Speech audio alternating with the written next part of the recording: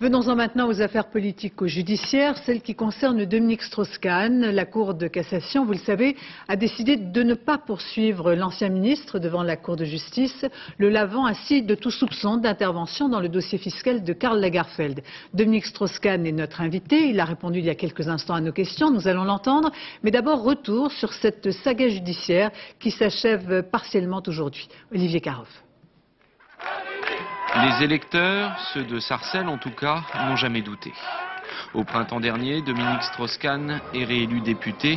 Pour lui, l'hiver politique aura duré près de deux ans. Aéroport de Roissy, 1er novembre 99, un petit matin blême. Le ministre de l'économie revient précipitamment d'un voyage en Asie. Depuis deux jours, la justice a officiellement déclenché des poursuites contre lui.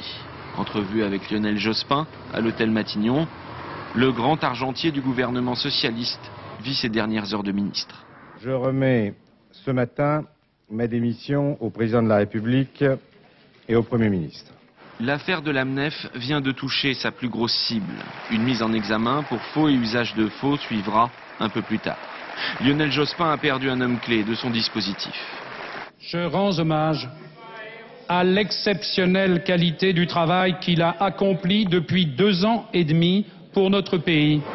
Un an plus tard, réapparition publique dans la grande famille socialiste. Malgré une deuxième mise en examen, cette fois, la justice le poursuit pour l'emploi fictif d'une secrétaire par le groupe Elf.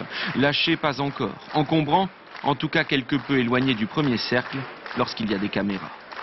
Trois semaines plus tard, dans les rangs du PS, le ton a complètement changé. Je crois qu'il n'est plus digne d'être membre de notre parti. On est là pour servir et pas pour se servir. DSK fait encore la une avec l'affaire Mairie. Il possédait l'original de cette vidéo posthume qui accuse le RPR.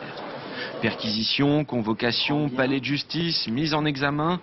Pour croire à sa version, la cassette perdue et jamais regardée, il y a peu de juges, mais au moins un socialiste.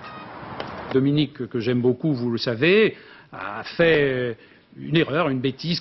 Une bêtise qui a failli lui valoir la Cour de justice. Depuis hier, ce spectre est écarté. Dominique Strauss-Kahn veut prendre le chemin du retour.